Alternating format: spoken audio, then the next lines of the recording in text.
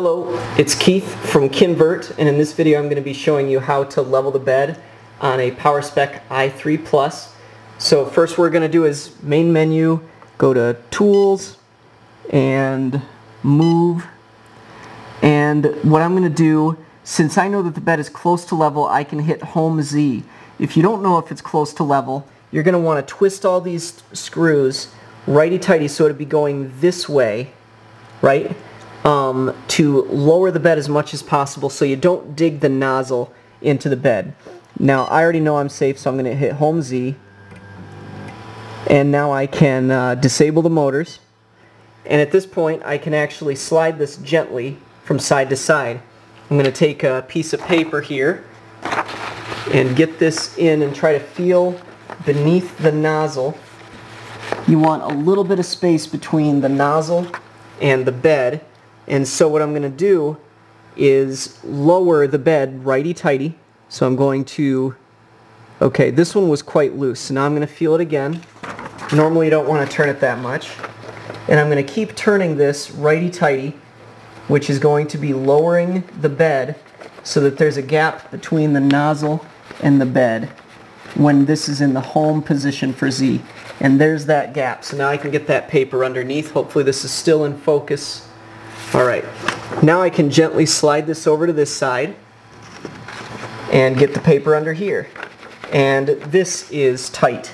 So now I'm going to righty-tighty and just slowly turn this until I can feel that the paper gets underneath the nozzle, which it is. Alright, and now I'm going to slide the bed forward gently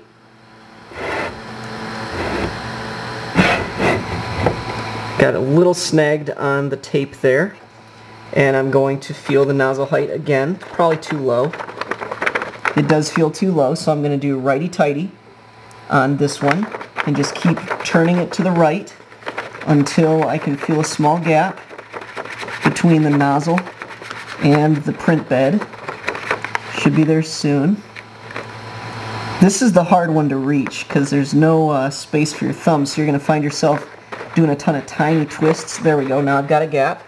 Now I can slide this over and I can feel, I, I just left it under and um, let me make sure this is still focused.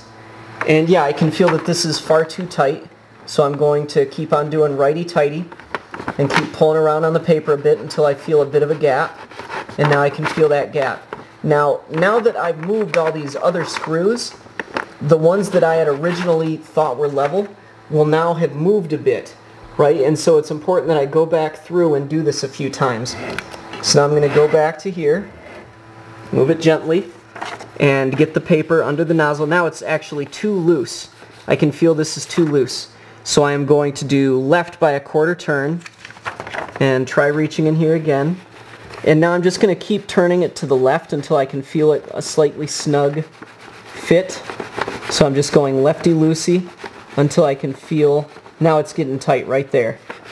Alright, maybe a little too tight, so I'm going to tighten it down a little bit. Slide this over to this corner, and now we're going to feel this corner. Get the paper in there, too loose.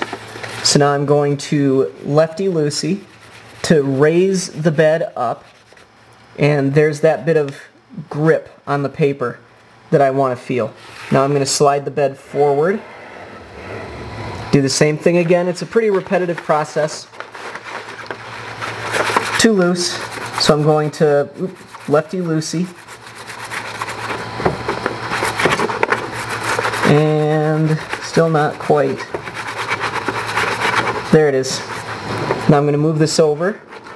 And this one's a little too tight, so I'm going to righty-tighty, which is going to pull the bed down a bit.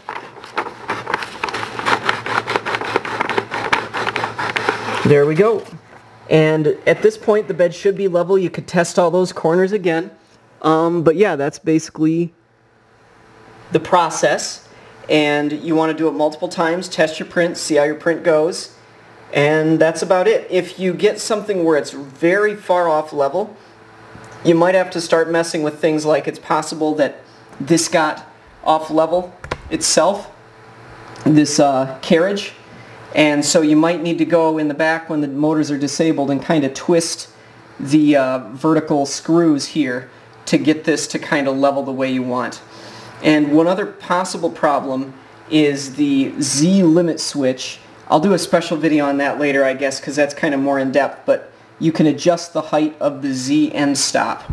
Um, so if you find that it stops way too early or way too late, you might need to do that, and I'll make a different video about that. So anyway, this is Keith from Kinvert going over how to level the bed on a PowerSpec i3 Plus. This is part of our online course for CAD and 3D printing. Hope you found this useful, and we will see you guys in the next one. Bye-bye.